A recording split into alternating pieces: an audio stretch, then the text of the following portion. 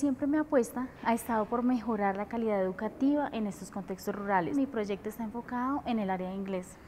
porque pienso que una de las maneras para responder a las demandas de este siglo, del siglo XXI,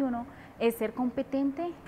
en al menos otra lengua. Esto le dará oportunidades a mis estudiantes en el campo laboral, profesional, y personal. Dentro de eh, el proyecto tenemos actividades con la integración de las TIC. Empecé a cuestionarme cómo podría eh, tener o usar más bien los celulares como una oportunidad para que ellos se comprometieran más en la clase de inglés. Ellos se conectan como si fuese una red Wi-Fi, entonces pueden acceder a toda la información que encontramos en el SEO, en el contenido educativo offline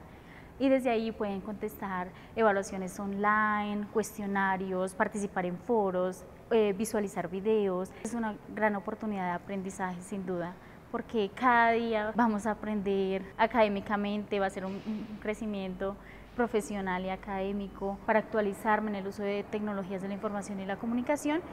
y, qué bien poderlas integrar a mi clase, llevarlas al aula, llevarlas a, complementar mis prácticas pedagógicas, que es como el fin real que tenemos en esta inmersión en este país asiático. El propósito principal es que mis estudiantes, que son eh, la razón de ser de la educación, se puedan beneficiar de esta, de esta magnífica y maravillosa experiencia pedagógica, eh, académica y profesional y que así se vea reflejado pues en un mejoramiento de la práctica pedagógica en el área de inglés